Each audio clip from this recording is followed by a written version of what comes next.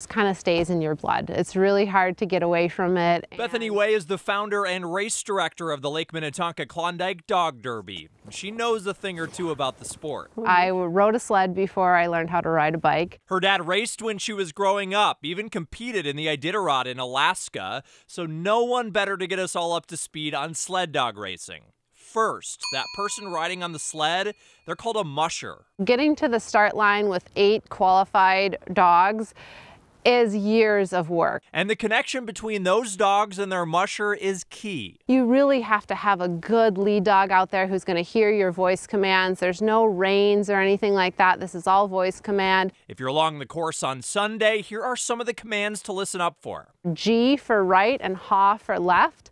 Uh, hike means go. Whoa is to get the dogs to stop. And Bethany says getting them to stop a lot more work than getting them to go because it's literally in their DNA to pull.